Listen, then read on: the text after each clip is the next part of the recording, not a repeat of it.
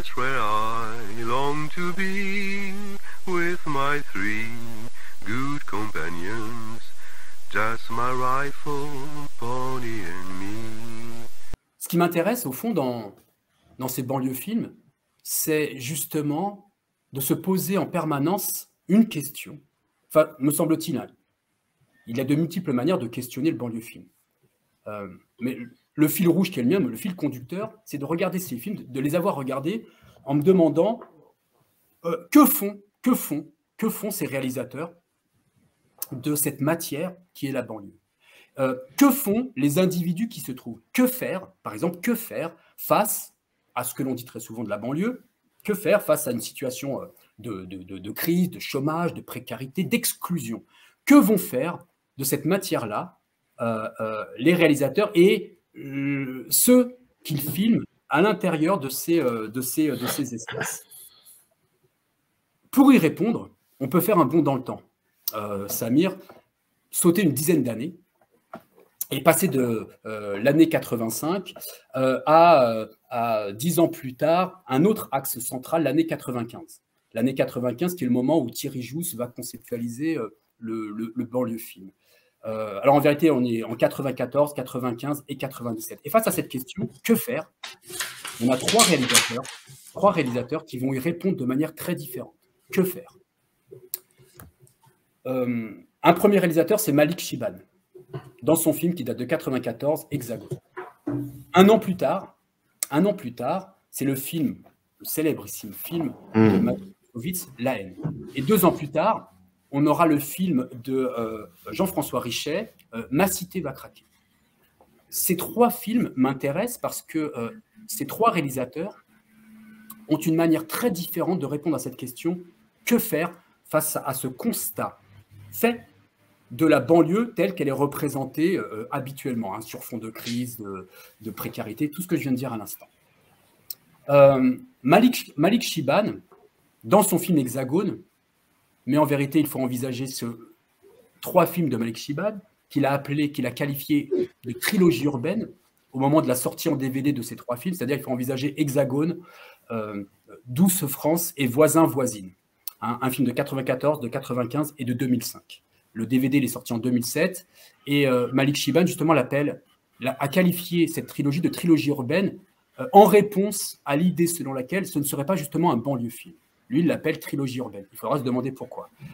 Euh, Malik Shiban, lui, dessine une ligne, me semble-t-il, mais il le revendique, une ligne politique. Une ligne clairement politique. Il y a un message clairement politique face à ce constat. Quand on se pose la question que faire, il y a une, solution qui peut passer par le politique. Chez euh, euh, il y a la possibilité d'organiser collectivement, collectivement une parole euh, et de l'indexer sur un vécu pour offrir euh, un espace vivable au sein, euh, au sein de la cité, au sens très large du terme. Ligne politique. Chez, me semble-t-il, une fois encore, chez Mathieu Kassovitz, on n'est pas sur une ligne politique dans la haine. On, est, on se situe en deçà. On est en dessous. On est dans une impossibilité d'organiser euh, collectivement euh, un discours, des pratiques, euh, une ligne politique. On est plutôt, on se situe à un niveau infrapolitique. On est à un niveau de déradicalisation de la politique. On n'est plus que dans, non pas l'action, j'y reviendrai tout à l'heure, il n'y a pas d'action possible, il n'y a que de la réaction possible. Euh, il, n'y a que la possibilité de réagir à des violences policières par le jet de cailloux et le fait de brûler des véhicules. On est dans la réaction. On n'est pas dans l'action. On est dans la réaction. Quand chez Malik Shibad, on est dans l'action. On est dans l'action collective et politique. Chez, donc on se situe à un niveau infrapolitique. Et chez Jean-François Richet, c'est tout le contraire. On est à un niveau suprapolitique. C'est euh, ma cité va craquer, hein, très clairement. C'est un appel à la hmm. révolution. Euh, donc, des manières très différentes à ce constat fait et à la question de se poser que faire face à ce constat? Une ligne politique chez Chiban, infra-politique chez euh, euh, Kassovitz, euh, supra-politique, hyper-politique, si tu préfères, chez Jean-François Richet. Je reprends, si tu m'y autorises, Samir, chacun de ces films et de la manière dont ces réalisateurs, justement, dessinent cette voie-là. Et donc, je voudrais, commencer par le premier d'entre eux, en 94, euh, euh, Hexagone, de, Malik Shiban. Euh, quand je parle de ligne politique, alors il, faut bien voir que on ne parle pas de n'importe quel type de réalisateur, c'est que Malik Shiban, s'il a rencontré beaucoup de difficultés pour monter son premier film, hein, Hexagone, n'en demeure pas moins que euh, euh, assez tôt, assez tôt, euh, il va occuper une position assez centrale cinématographiquement et médiatiquement. cinématographiquement, il sera par exemple le président de la Société des réalisateurs de films. il va se retrouver aussi à la commission d'avance sur recette du CNC plus tard. il va participer au débat politique à travers à la fois les documentaires qui sont les siens comme à travers des émissions. Mmh deux documentaires qui sont passés sur Arte euh, après la victoire des Bleus en 98 à la Coupe du Monde. Euh, euh, faut-il être blanc pour être élu? Autre documentaire, La France Black Blanc Blur, Black Blanc pardon, sauf en politique. il va participer aussi, je crois, dans mon souvenir, à une émission sur TF1, Un droit de savoir, avec Charles Pasqua, ministre de l'Intérieur de l'époque, et les fameuses lois Pasqua sur l'immigration. Donc voilà, euh, il, occupe une, place médiatiquement, cinématographiquement, euh, qui n'est pas neutre. Euh, et, pourquoi je parle encore de cinéma politique chez lui C'est qu'il va signer un article avec son frère, et dont le titre fait figure de programme. Le, titre de l'article est le suivant Le cinéma post-colonial renoue avec le cinéma politique. Et lui considère qu'il s'inscrit dans cette histoire-là. Et d'ailleurs, au jeu des influences, au jeu des influences, on a consacré une émission sur les influences du cinéma, de l'urban movies des États-Unis mm. sur le français. Lui, pour le coup, me semble-t-il, fait figure d'exception, du moins revendique sa filiation avec le cinéma euh, euh, de Do the Right Thing euh, de Spike Lee. C'est-à-dire qu'il se positionne du côté d'une solution qui lui semble la seule être viable, c'est celle de la mixité sociale qu'il envisagera, envisagera, dans son dernier film, Voisin-voisine. Hexagone. Le contexte aussi, Samir, parce que euh, pour moi, il est important. On est en 95. On est en 94, pardon. On est en 94. Et avant de parler d'Hexagone, à partir de 95, le contexte en France, c'est lequel hein, sur, cette, sur cette décade, sur ces quelques années? C'est que la banlieue, on a fait un bond de 10 ans, de 10 ans, on a fait un bond en avant de 10 ans dans le temps, c'est que la banlieue semble désormais associée au mauvais côté de la balance. Euh, les, images de la banlieue telle qu'elle est représentée télévisuellement, mais aussi bientôt cinématographiquement, ce sont les véhicules qui brûlent et les jets de cailloux. Pour, le dire très très vite, pour le dire très très rapidement. La, la banlieue est associée donc au mauvais côté de la balance. 95, c'est la France de Jacques Chirac c'est la France de la fracture sociale, la France d'en haut, la France d'en bas dans le discours, euh, France de la fracture sociale. C'est aussi, je parlais de Renault tout à l'heure, sur le plan de la bande-son qui va devenir très importante. Je, parle de la musique, pardon, parce que Thierry Jousse le fait, il a tellement raison. Il y a une bande-son qui va apparaître. Hein, quand il conceptualise le bande du film, une bande-son apparaît. Et me semble-t-il, sur ces, sur ces années, il y a euh, deux titres qui résume assez bien la position différente des trois réalisateurs que on, envisage ensemble, euh, euh, Samir. Il y a en 95, il, y a l'album de NTM que j'ai ici. Paris.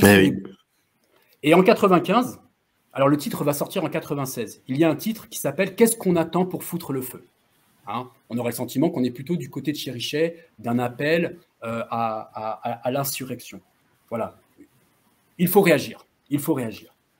Tu as un autre titre, tu as un autre titre très intéressant de la même année, alors euh, euh, qui apparaît sur une compilation ici, hostile, euh, d'un groupe qui va faire irruption à travers la figure très connue aujourd'hui de Booba et de hmm. son groupe lunatique. Et il y a un titre qui est emblématique de ces, années et qui est à rebours du rap, par exemple, de, de NTM, euh, qui est, euh, là aussi dont le titre est un programme, c'est Le crime paie. Le crime paie.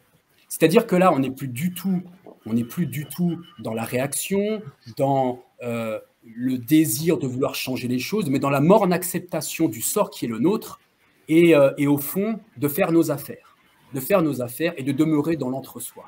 On, on, est, on, est, on est dans le refus de l'action et de la revendication. Le crime paix, ce, titre provoque une détonation dans le milieu du rap, une véritable détonation. C'est un moment de bascule dans le rap. C'est une autre manière, c'est-à-dire qu'on sort du rap, on va dire, hein, pour le dire très très vite, euh, des grands frères, des éducateurs euh, du type NTM et surtout euh, IAM. on sort de cette logique-là. On, entre dans un autre type de rapport, notamment musicalement. Donc, on est dans ce contexte-là, et donc sort sur les écrans le film de, de, de, Malik Shiban, Hexagone. si tu me permets, Samir.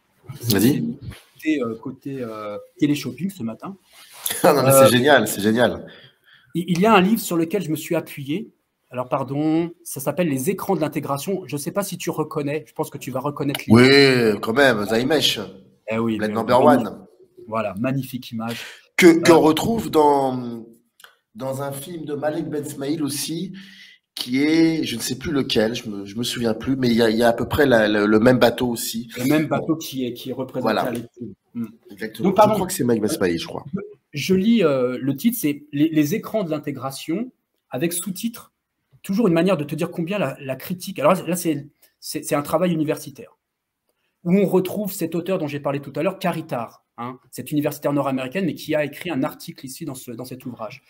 Euh, manière de dire toujours que l'ouvrage date de 2005, 2015, mhm. euh, pardon, 2015, 2015, pardon, 2015. Euh, ce qui intéresse toujours la critique, et y compris donc même sur le plan universitaire, sous-titre L'immigration maghrébine dans le cinéma français. Il y a toujours une manière quand même de, de porter son regard sur pas n'importe quel type d'immigration, mais, mais, mais, mais, mais, de celle-ci, mais de celle-ci en particulier. Et dans, dans, cet ouvrage, quand il est question du film Hexagone de Malik Shiban, lui est notamment reproché, parmi d'autres choses, mais lui est notamment reproché un certain amateurisme sur le plan esthétique. Ça, c'est quelque chose aussi qu'il faudrait questionner, c'est que très souvent, on parle très peu de questions de cinéma quand on parle du banlieue film. On, est sur un aspect thématique, sur les histoires, sur des scénarios, que peut-être ces films eux-mêmes entretiennent. Euh, j'y reviendrai plus tard. Et, notamment euh, est reproché à, à Malik Shiban contrairement à son dernier film, euh, Voisin, voisine, il lui est reproché d'être trop souvent euh, dans euh, une manière de filmer, on est dans du champ contre champ, dans des plans statiques, donc dans un cinéma plutôt pauvre sur le plan esthétique.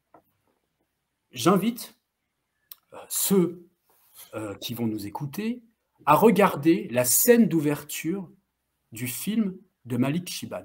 oui, de Malik Shiban, Hexagone. Oui, oui. Robert Bresson, dans ses notes pour un cinématographe, pour moi c'est une boussole. On a tous nos boussoles critiques. Là, c'en est une pour moi. Donc Robert Bresson, dans ses notes pour un cinématographe, dit la chose suivante. Dans un film, dans un film, il faudrait en permanence trouver le plan qui parle de tous les autres plans du film. Hein, trouver le plan qui va parler de tous les autres plans, dit Robert Bresson. Euh, la scène d'ouverture du film de Malik Shiban, et tu sais combien, quand on a affaire à un film sérieux, les scènes d'ouverture, euh, important. Elles, sont décisives. Hein. Comme les pédopsychiatres disent que la vie d'un individu se joue dans les premières années de sa vie, de 0 à 2 ans, la vie du film, elle se joue dans ses premières minutes gestatrices. Scène d'ouverture, me semble-t-il, cette scène d'ouverture est le plan, non pas qui parle de tous les autres plans du film, c'est le plan qui parle de tous les plans du banlieue film pour moi. Scène d'ouverture, en un travelling latéral qui va non pas de la gauche vers la droite, mais de la droite vers la gauche. On a une scène d'ouverture, long travelling latéral sur la rase campagne. On a un champ en labour qui est filmé. L'image défile, un plan horizontal, et d'un seul coup, comme une incongruité, on a une verticalité qui surgit à l'écran, on a une barre, une tour. Ce seul plan, pour moi, il est, précieux parce que il montre combien, ce que montrent d'autres films, la banlieue semble se situer dans une zone indéterminée, entre nature et culture. Euh, quand tu regardes, par exemple, plus tard, euh, après euh, les émeutes de 2005, ce que Ladjli filme pendant 365 jours à Clichy-Montfermeil, hein, après la mort de Zied Bouna, l'état d'urgence proclamé en France, scène d'émeute dans les quartiers populaires. le film s'ouvre sur quoi? Justement sur cette zone d'indétermination. Tu apprends dans le film de Ladjli, ce, court métrage qu'on trouve sur YouTube. Hmm. on, voit quoi? On voit que euh, le quartier dans lequel, notamment, les émeutes, où ont vécu Ziedebouna et où les émeutes, notamment, vont se produire, que ce quartier, en fait, avant, se trouvait une forêt, la forêt de Gagny, et qu'elle a été complètement rasée pour construire ensuite cet ensemble d'immeubles. Bref, toujours une sorte de zone indéterminée entre nature et culture. Le plan de Malik Shiban ne s'arrête pas à cette tour, il continue. Et puis, on entre, on entre à l'intérieur, à l'intérieur de la vie de, de ces immeubles. Et euh, je ne sais pas si tu te souviens, Samir, euh, on y voit des enfants s'amuser. Il y a de la joie, il y a de la gaieté. Et puis ensuite, on a un plan en contre-plongée. D'accord? On a un plan, euh, en contre-plongée. Et, et Malik Shiban filme ce que Godard regrettait qu'on ne filme plus suffisamment, le ciel. Mais le ciel, il n'est pas montré de n'importe quelle manière. Il est barré de fils. Il est barré de fils. J'ai le sentiment, quand je regarde cette scène-là, que oui, il y a de la joie, oui, il y a de la vie, il y a quand même un sentiment d'emprisonnement. J'ai l'impression d'être dans la, mmh. la, promenade, la promenade d'une prison. Et, et, donc, ce premier plan, pour moi, il est, euh, il est, euh, enfin, il m'a frappé. Il m'a suffisamment frappé pour que, pour que, pour que je t'en fasse part. Et, et, et, il est riche, il est riche d'informations. Euh, ce film, Hexagone, il est encore très très intéressant quant à la manière dont Malik Shiban envisage le récit de deux individus euh, Staff et Slimane, et de leurs trois amis. Euh, dire à ceux qui nous écoutent, contrairement à l'idée selon laquelle il faut attendre les années 2000 et on assisterait à une féminisation euh, du jeune de banlieue, que là aussi, là aussi, en 95, en, en 80, on est en 94, en 94, on a un personnage, le personnage de Slimane dans le film, il a une relation amoureuse avec une jeune femme qui s'appelle Nacera. Et Nacera, eh elle est aux antipodes de, du cliché euh, de la jeune femme soumise à, pour le dire très vite, une logique du patriarcat euh, euh, et qui semblerait régner dans les, dans les quartiers populaires français.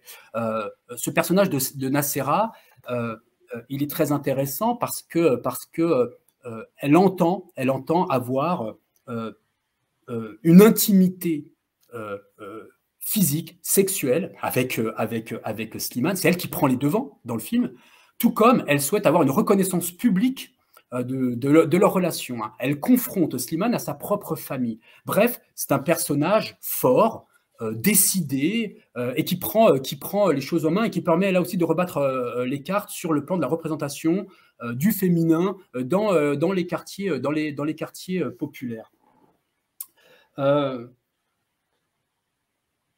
Alors, dans le même temps, dans le même temps, dans cet ouvrage, une fois encore, euh, Caritar reproche, à Malik Shiban, au fond, d'avoir centré son propos, dit-elle, hein, je la cite, hein, d'avoir centré son propos sur des jeunes de type maghrébin, euh, euh, et ce, ce au détriment, dit-elle, au détriment des voix masculines blanches. Euh, me semble-t-il, il y a une autre manière de voir le film. C'est intéressant, le titre du film, c'est Hexagone. Hexagone. J'en fais une autre lecture, c'est-à-dire que Malik Shiban, en centrant son propos sur des jeunes de type maghrébin, en effet dans ce film-là, mais plus tard, il va élargir, le spectre. Euh, mais il le fait déjà dans ce film-là. Euh, mais il tente à montrer plutôt que les préoccupations de ces individus, trouver du travail, s'accomplir à travers une relation amoureuse, Bref, que ce sont les mêmes préoccupations que celles de tous les autres jeunes. Que, au fond, ces individus, ces individus euh, leur histoire participe du destin national. Alors, la question de l'exclusion et du racisme en plus, ce qui n'est pas rien. Mais, voilà, c'est ça l'hexagone aussi. C'est aussi ça l'hexagone, nous dit euh, Malik Shiban. Euh, par ailleurs, quelque chose que je n'ai pas dit et qui est absolument essentiel, c'est que, c'est que le cinéma de Malik Shiban, alors pas simplement dans ce film, hein, Samir, mais dans Hexagone, 12 France, un an plus tard, et puis après, euh, neuf ans plus tard, dans Voisin Voisine. C'est que Malik Shiban, son cinéma, sa trilogie urbaine, elle est précieuse en ce sens qu'elle entend sortir d'une alternative ruineuse, c'est-à-dire de l'image dans laquelle on a enfermé le jeune de banlieue, cinématographiquement. Euh, c'est que euh, Malik Shiban ne s'intéresse pas dans le film justement qu'aux jeunes de banlieue. On a une représentation des parents, on a des gens qui vont au travail. Euh, bref, le, spectre est beaucoup plus large. Il est beaucoup plus large. C'est-à-dire qu'on n'est pas simplement dans un cinéma, tu vois, du type nord-américain, pour faire très très vite, où les Noirs filment les Noirs, mais parce que parce que c'est comme ça, et, où les Blancs, parce que je n'en avais pas encore parlé, les Blancs filment les Blancs. Hein ce, cinéma euh, qu'on dit white trash, hein, avec des réalisateurs comme Harmony Corinne, ou quand euh, Gus Van Sant et Larry Clark filment ces jeunes skateurs, euh, où les Blancs filment les Blancs. Alors il y a des évolutions ces dernières années. Hein. je ne sais pas si tu as vu ce film, alors déjà de Michel Gondry, de We and the I. Hein, on n'est pas simplement les Noirs d'un côté les Blancs d'un autre, mais il y a davantage de mixité. il y a aussi ce film parce qu'on va avoir enfin des réalisateurs qui vont revenir sur les années 90, mais de façon pas du tout nostalgique. Le film de Jonah Hill, 90s, justement, mhm.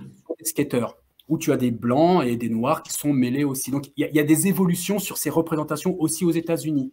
Il y a aussi un documentaire, ça me revient à l'esprit cette année, sur la façon dont cette fois-ci on représente le redneck aux États-Unis, le, le, pecno, hein, euh, le type qui vit dans sa campagne profonde euh, et qui en gros euh, voterait Trump en permanence.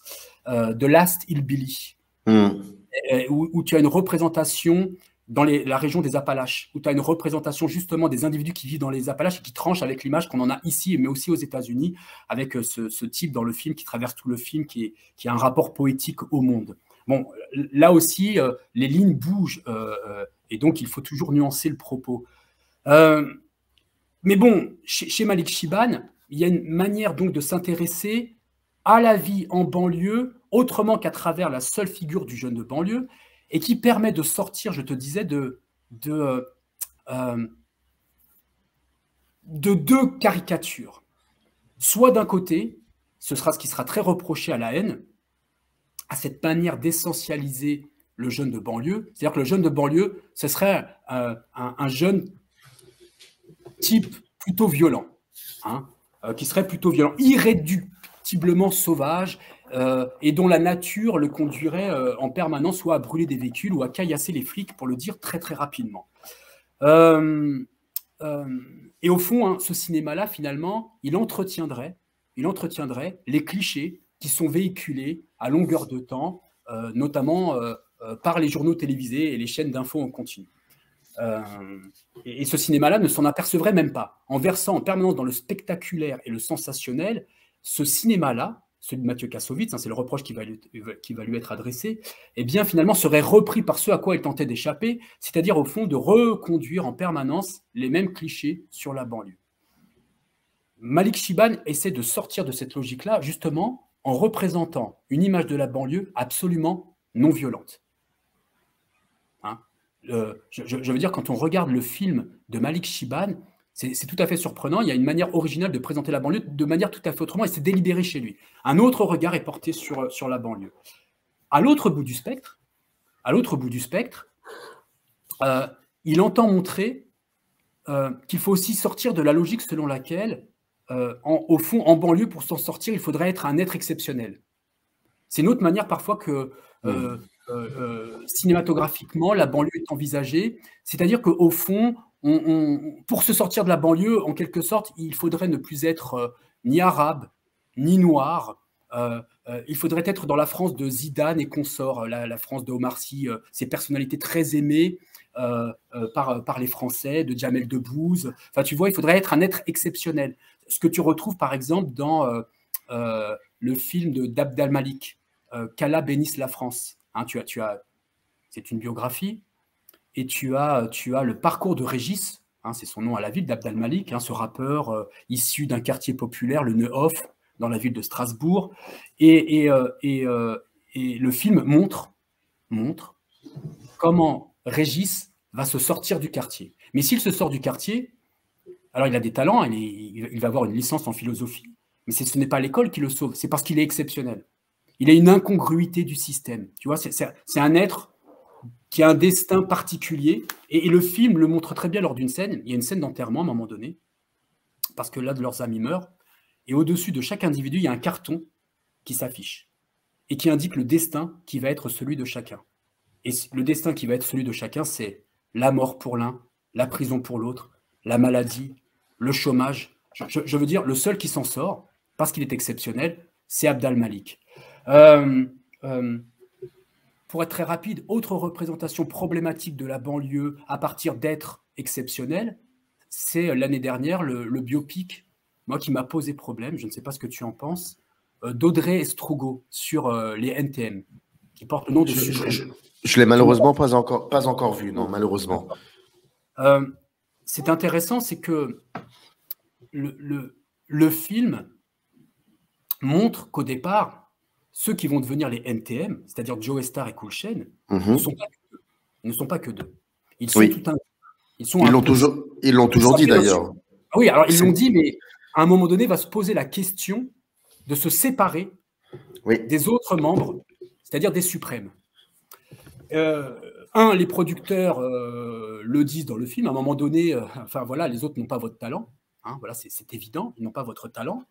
Et puis surtout, dans le film, ça n'est pas du tout caché, Joe Star demande aux autres membres du groupe de les quitter. C'en est terminé la voie qu'il s'agit de tracer, c'est la nôtre, c'est celle de Cool et de Joe Star.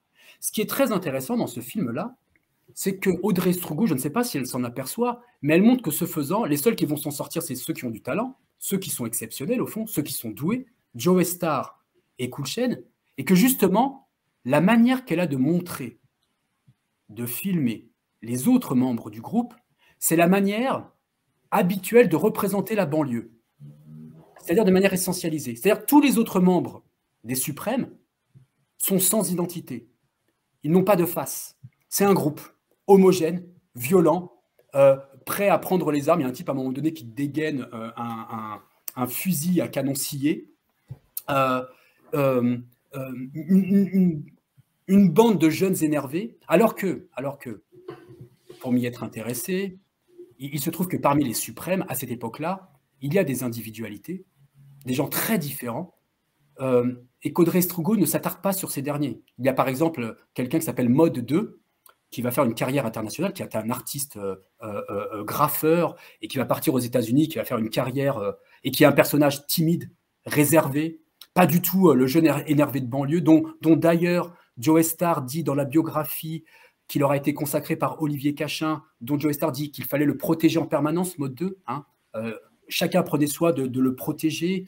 Euh, il y a un autre, euh, euh, personnage, une autre, un autre individu très intéressant qui s'appelle Yazid, qui va faire une petite carrière au cinéma chez Jean-François Richet, justement, et qui n'a rien du tout de ce type, là aussi, prêt à dégainer au moindre instant, qui est très réfléchi, très intelligent, qui porte un regard très critique d'ailleurs sur les suprêmes dès cette époque-là. bref, au fond, les NTM, Joe Star et Kulchen, à la fin, tout comme le producteur, finissent par traiter les autres membres du groupe comme l'est la banlieue, c'est-à-dire en les mettant au banc, c'est-à-dire en, les excluant. Et, je trouve que cette logique dynamique-là dynamite le propos finalement. Mais est-ce que, pardon de t'interrompre, est-ce qu'en fait, ce, que tu, ce que tu reproches, euh, enfin, ce que tu reproches, ce que tu remarques plutôt, euh, peut-être un geste extrêmement maladroit de la part de Dre Strugo, mais qui aussi euh, renvoie à, d'autres films qui ont cette particularité euh, de filmer cette géographie-là. En fait, ce que tu constates, c'est que très souvent, on ne s'attarde pas sur, sur des histoires multiples d'individus, mais on essaie de tout mettre dans un groupe en disant, voilà, ça c'est une catégorie. En fait, Audrey Strugo ne s'intéresse pas aux histoires des individus. C'est ça. Non, enfin, en même temps, je la comprends. Attention, elle s'intéresse évidemment euh, au premier chef, au, à la trajectoire de Kulchen et de Joe mm. Star. Mais dans le même temps, dans le même temps, elle a une manière de montrer la banlieue qui me semble participer de ce qu'elle voudrait dénoncer. C'est-à-dire une représentation cliché de la banlieue. C'est-à-dire qu'elle montre les autres membres du groupe tels que euh, euh, une certaine image s'est cristallisée dans l'esprit de ceux qui les perçoivent à travers différents écrans, c'est-à-dire euh, des jeunes qui sont irréductiblement violents. agités du moins. Hein. Ils sont agités du bocal en permanence. Et, alors qu'en vérité, en vérité les choses sont beaucoup plus nuancées et que parmi les suprêmes, il y a des individualités, il y a des parcours très différents, et que cette manière d'homogénéiser ce groupe-là, oui, me semble-t-il, pose problème. Alors, chez Malik Shiban, eh bien, euh, me semble-t-il, euh, est mis en échec, est mis en pièces ces représentations-là parce qu'il essaie d'ouvrir vraiment euh, le champ du spectre de la façon la plus large possible en s'efforçant de dessiner des trajectoires qui ne sont pas uniquement centrées sur le jeune de banlieue. Hein, on a une diversité du regard.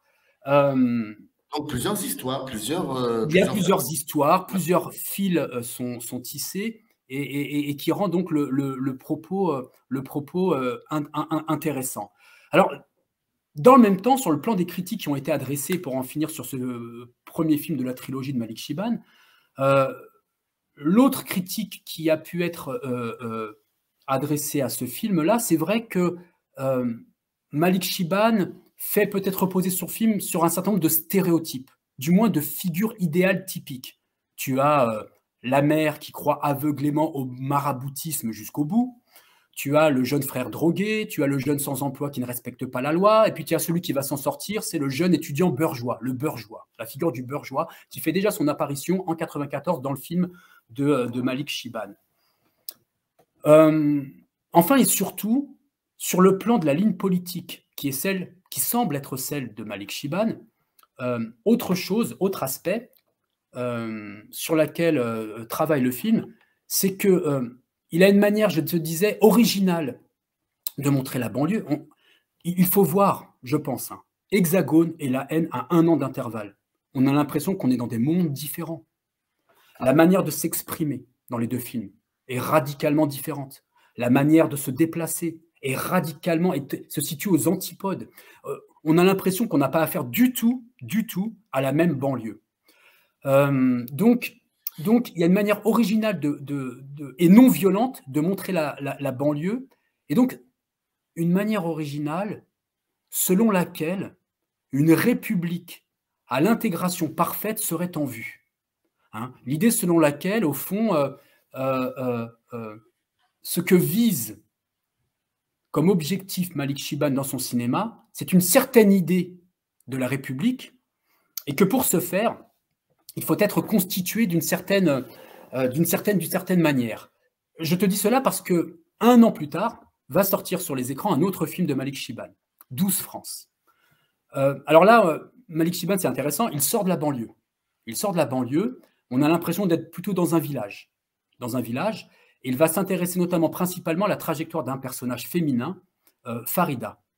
Et Farida, ce qui la caractérise, et là aussi ça permet de contextualiser, c'est que c'est une jeune femme qui à la fois a fait des études supérieures, universitaires, elle a un bac plus 2, et puis euh, elle porte le voile. Elle porte le voile. On est après les premières affaires euh, du port du voile dans les écoles euh, à Creil, notamment à la fin des années 80. Et donc Malik Shiban s'empare de cette question-là. Et il se trouve que cette jeune femme, elle souhaite devenir enseignante. Hein, elle veut devenir euh, euh, enseignante. Et donc, euh, elle, se présente face à, une personne qui lui fait remarquer que ce ne sera pas possible.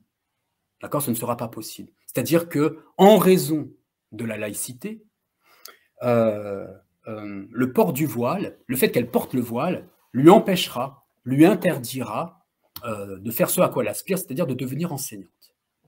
ce qui est très intéressant, c'est la réponse qui est celle de Farida et qui montre que Malik Shiban va évoluer tout le long de sa trilogie sur la ligne politique qui est la sienne. La réponse de Farida à cette personne qui lui fait remarquer que là, il y a exclusion du voile, il y a impossibilité de porter le voile. Euh, Farida lui répond, c'est-à-dire que entre le voile et la République, on est dans un rapport irréconciliable. Farida lui rétorque que euh, ce n'est pas comprendre la laïcité à la française ce n'est pas comprendre les lois de 1905. Les lois de 1905, dit-elle, ont entendu condamner euh, l'Église pour avoir collaboré avec l'Ancien Régime. Et que, dès lors, l'exclusion, l'exclusion, comme lui dit cette personne, pour particularisme religieux, est contraire à l'esprit de la Déclaration des droits de l'homme et du citoyen de 1789. Bref, on peut discuter, hein, mais la réponse de Farida, c'est de dire qu'il n'y a pas nécessairement opposition entre les valeurs de la République, ces fameuses valeurs, il faudrait moi me les égrener, hein, me les indiquer, hein, quelles sont-elles, et le fait de porter éventuellement le voile. Euh, c'est très intéressant, euh, cette manière d'envisager euh, une conception qui chevauche deux concepts qui a priori semblent irréconciliables. Alors dans le même temps, dans le même temps, à la fin du film, que se passe-t-il? Farida, certes à regret, renonce à son voile. Elle va finir par le retirer. Elle finit par le retirer, le spectateur il est préparé à cette dernière scène par une scène précédente où elle se trouve dans un aéroport et elle voit deux jeunes femmes euh, euh, qui parlent euh, chic et choc de mode, qui portent Jean-Paul Gaultier, qui s'apprêtent à repartir sans doute vers un pays plus traditionnaliste, on dira l'Arabie saoudite, et donc qui revêtent à ce moment-là les us et coutumes, et notamment le port du voile, pour repartir vers, ces territoires. Et, euh, et au fond, de constater chez Farida qu'il y aurait du prix et que, et que surtout son intégration à la société française, puisqu'elle finit par renoncer à son voile, certes en pleurant, son intégration passe nécessairement par le retrait de ce, de ce, de ce, de ce, de ce voile de ce voile là. Euh, ici, me semble-t-il, hein, sur la ligne politique qui est la sienne, Malik Shiban semble faire sienne une certaine conception de la République selon laquelle il y aurait un socle de valeurs communes, desquelles le voile ne ferait pas partie. Hein, il y aurait toujours, tout comme dans Hexagone, en vue, hein, dans son cinéma, une certaine conception de la République et qui fait que les particularismes, religieux notamment, n'y auraient pas euh, leur place.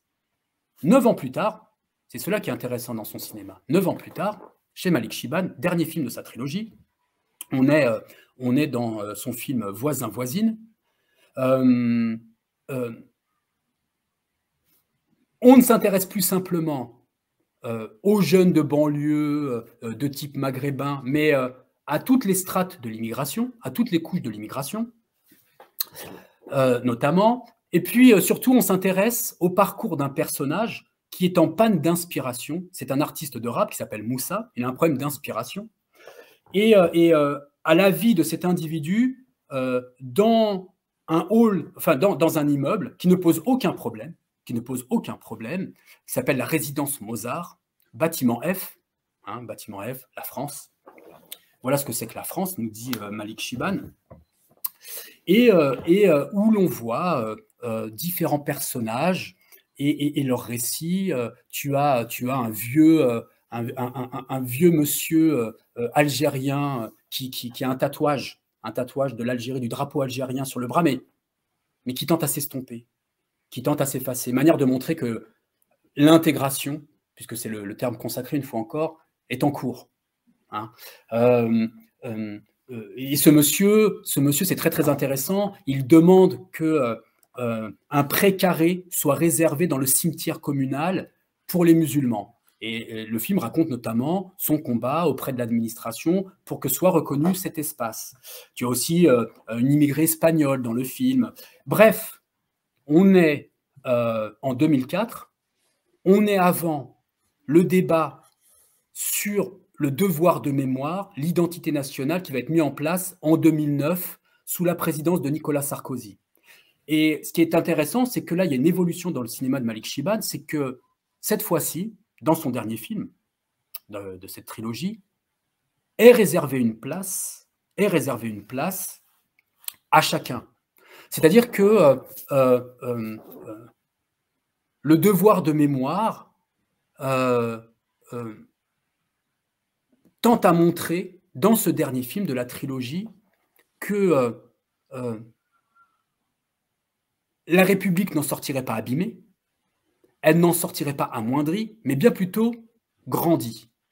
Euh, qu'au fond, les récits de chacun de ces immigrés dans le film enrichissent la France, que au fond, plutôt, je dirais, chacun de ces récits participe de ce que Jean-Michel Frodon avait appelé, avait qualifié en 1998 euh, il participe de la projection nationale.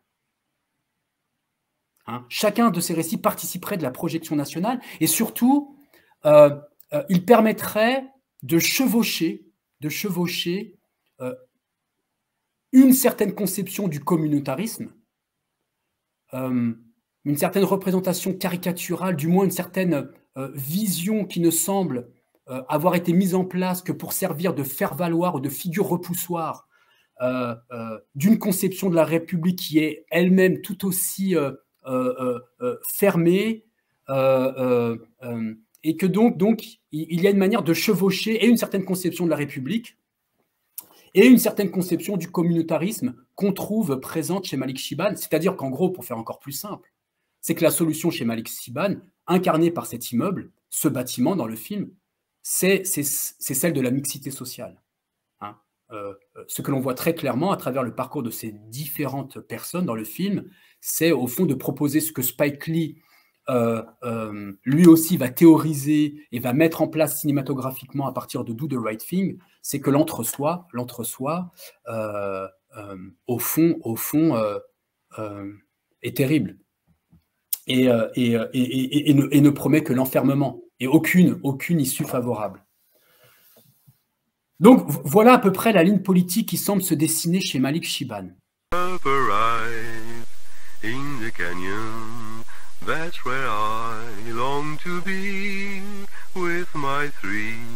Good companions, just my rifle, pony and me.